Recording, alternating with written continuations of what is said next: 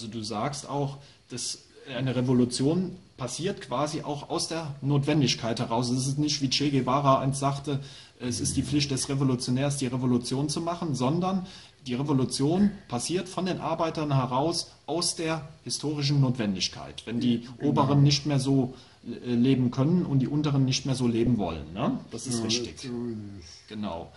Ähm, und äh, ja, wie gesagt, du hast ja mit Fasenpat ja ein Beispiel genannt, wie man Revolution machen kann. Und das sind ja dann auch die Arbeiterräte, die in den Betrieben sind. Und äh, erläuter für, für die Zuschauer einfach nochmal die drei Grundprinzipien äh, der Arbeiterräte. Die Arbeiterräte gibt es da noch nicht. Aber es gibt eben Selbstverwaltung mhm. und die Selbstverwaltung haben einen gewählten Sprecherrat. Mhm. Ja, aber bei Fassilbad ist es so, der wechselt jedes Jahr wählen die neuen Sprecher. Okay, ja, ja, ja. ja. Rotieren quasi. So ist es, ja. ja. Nur diese Betriebsbesatzung, das werden ja immer mehr. Ja. Jetzt wieder bei dem kommenden Crash, ja, da sagen alle, die sich auskennen, das wird viel, viel schlimmer werden als 2008. Ja, es wird nochmal eine Spur extremer werden, denke ich mal. Ne? Und dann kannst ja. du dir vorstellen, dass wieder Kapitalisten aus dem Land abhauen und das verwunderthaft wird. Mhm.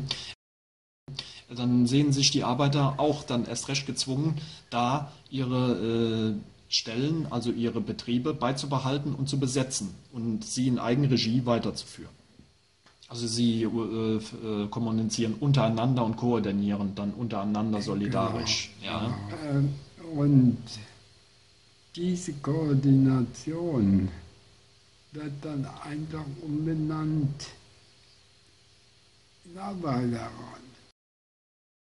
Ja, ja, genau. Sie, sie, verwandeln sich in Arbeiterräte. Nee, ne? ist es nicht. Ja, ja, okay. Ja, ja. In dem Moment, wo so viele Betriebe sind, Selbstverwaltung, die schon mehr als die Hälfte äh, des Kapitals ausmachen mhm. im Land, dann verwandeln die sich in Arbeiterräte. Ja, und so ist ja praktisch heute schon, dass wir praktisch die Babys der Arbeiterräte in Ländern haben auch. Ja. In Frankreich gibt es eine Koordination. Mhm. Ja, aber auch in Südamerika, in Argentinien und Brasilien auch. Brasilien wahrscheinlich, USA auch. Ja, in den USA sind ja, äh, hatte ich auch einen Bericht gesehen, äh, äh von den ganzen äh, Werken im Norden, wo Detroit, wo einst Chrysler Autos gebaut hat, da hatten sich auch schon viele Arbeiter zusammengeschlossen. Ne? Also da waren auch, äh, da haben sie sich auch, äh, äh glaube ich, die Betriebe gesetzt, äh, besetzt, glaube ich. Ne? Das nicht sehr besetzt. In Chicago gibt es zum Beispiel ein New Windows. Also das, die machen praktisch äh, extra Windows, mhm. ne? aber da muss man, um dann mitzuarbeiten im Betrieb, erst 1000 Dollar zahlen. Okay, ja. Und das können sich ja natürlich die meisten Arbeiter nicht leisten. Nee. Ich wollte nochmal äh, äh, zu einem äh, Thema zurückkommen. Also, äh, wenn quasi die Arbeiterräte äh, die Macht haben in den Betrieben, dann entsteht ja eine Doppelherrschaft. Ne? Und das ist ja aus deiner Sicht wirklich die Herrschaft der Arbeiterräte, der wahre, die, die wahre Lehre von Karl Marx. Ne? Es wird ja immer so missverstanden.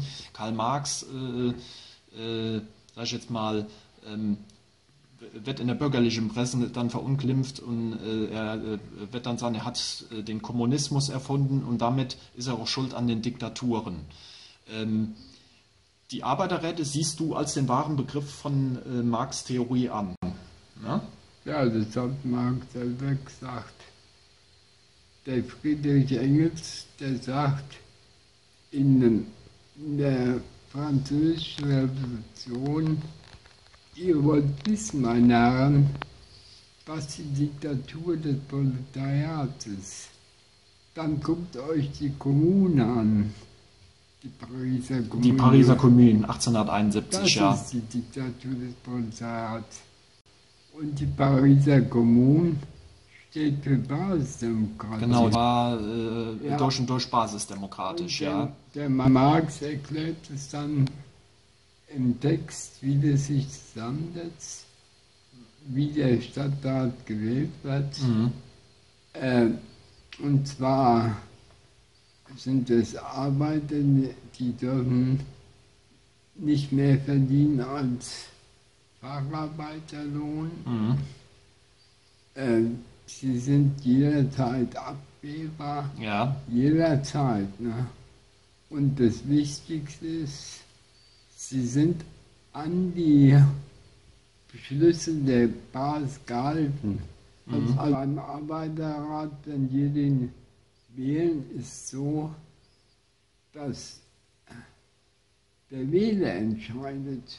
Ja. Hier ist so, dass der Großkapitalist entscheidet und sonst niemand. Ja. Da ist aber so, dass der Wähler entscheidet.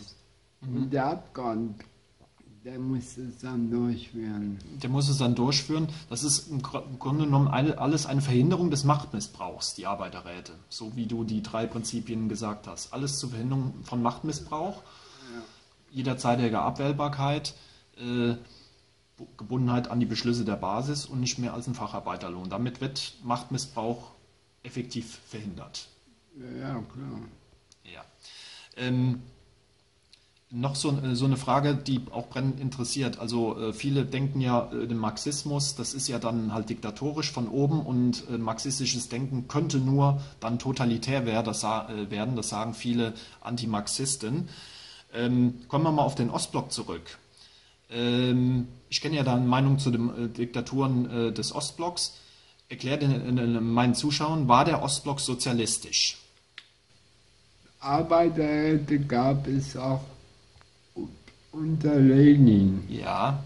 Aber wie dann der Lenin gestorben ist, da war das so, dass es nur noch eine Arbeiterklasse von 2,5 Prozent der Bevölkerung gibt. In Russland, ja. In Russland. Mhm. Und das langte nicht, um sich gegen Stalin zu wehren.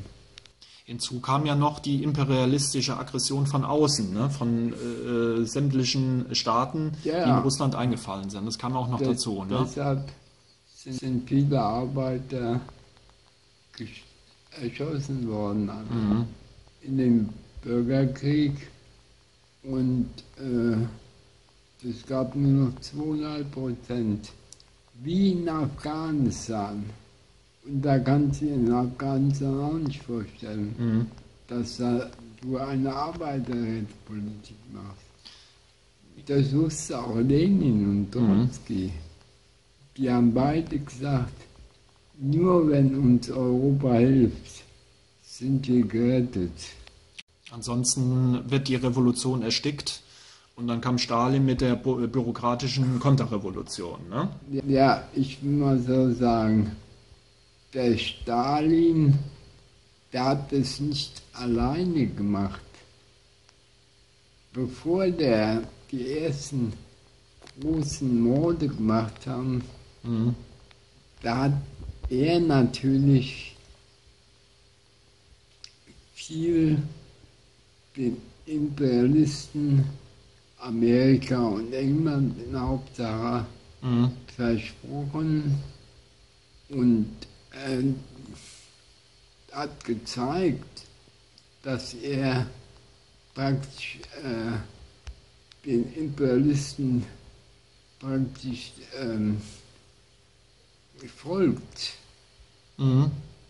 Und dann haben die ihm zum Beispiel viele Eisenbahnen ja. Waggons so zur Verfügung gestellt. Geschenkt praktisch. Mhm. Damit er den Krieg führen konnte, war später auch. Mhm. Aber dann haben sie ihn aufgenommen in den Völkerbund. Mhm. Da wurde er praktisch von der Welt anerkannt. Deshalb hat er das gemacht. Ja, ja, klar. Stalin war ja auch ein reiner Realpolitiker.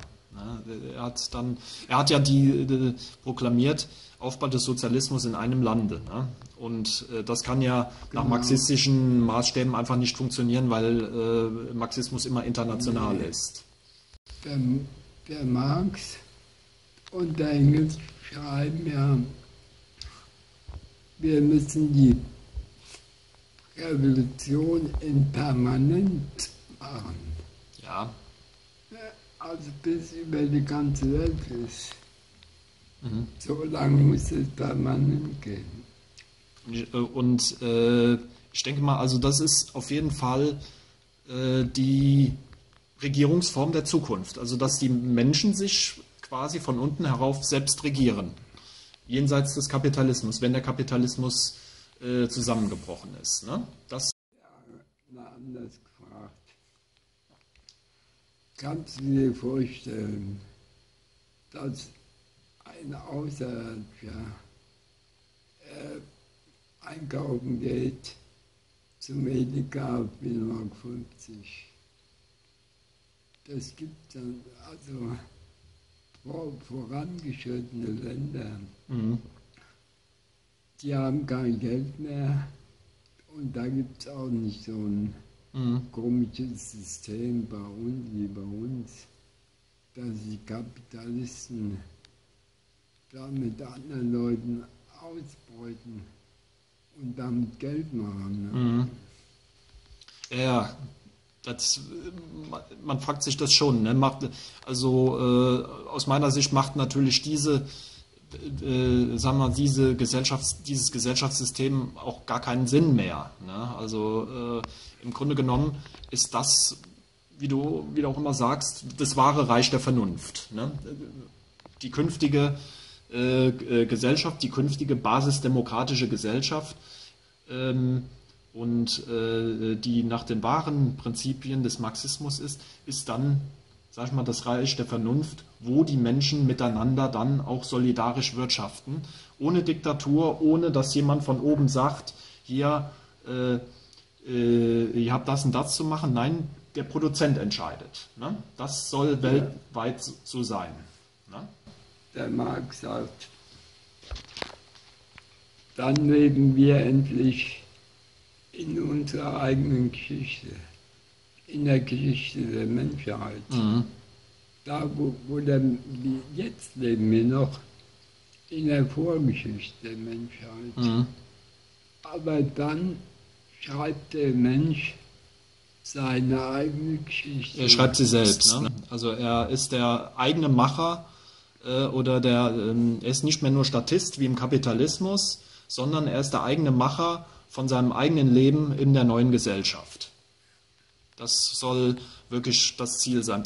Äh, lieber Norbert, ähm, abschließend noch eine Frage. Ähm, wie würdest du denn diese ganzen Staaten, die sich sozialistisch nennen, wie Nordkorea, Kuba, aber auch die ganzen osteuropäischen äh, Länder und dann die Sowjetunion unter Stalin, ähm, was waren sie, wenn nicht sozialistisch? Also ich weiß es ja, aber meine Zuschauer wissen es natürlich nicht.